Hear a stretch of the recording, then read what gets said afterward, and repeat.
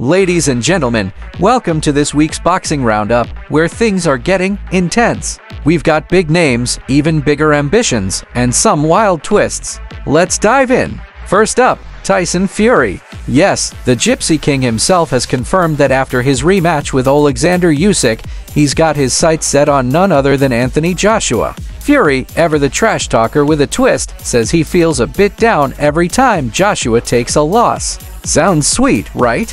But hold on. Fury's not interested in Joshua's losses, he's interested in their box office potential. Doesn't matter how many times AJ's been beaten. For Fury, it's about putting on a show that people want to see. And something tells me this fight's gonna sell no matter how many times Joshua's fallen short in the ring. Next on the list, we have a matchup that's raising eyebrows. Chris Eubank JRB vs Canelo Alvarez. Oh yes, it seems that Eubank may finally get his chance at the pound-for-pound star, and where better than at the legendary Wembley Stadium? According to Ben Shalom, talks are already happening. Just imagine that crowd at Wembley and all-out British showdown against Canelo. Can Eubank JRB really bring the heat to one of the sport's biggest stars? Only time will tell if this fight gets sealed, but trust me, if it does, Wembley will be on fire. And here's a blast from the past. Amir Khan is talking comebacks, but only for two very specific opponents Floyd Mayweather or Manny Pacquiao.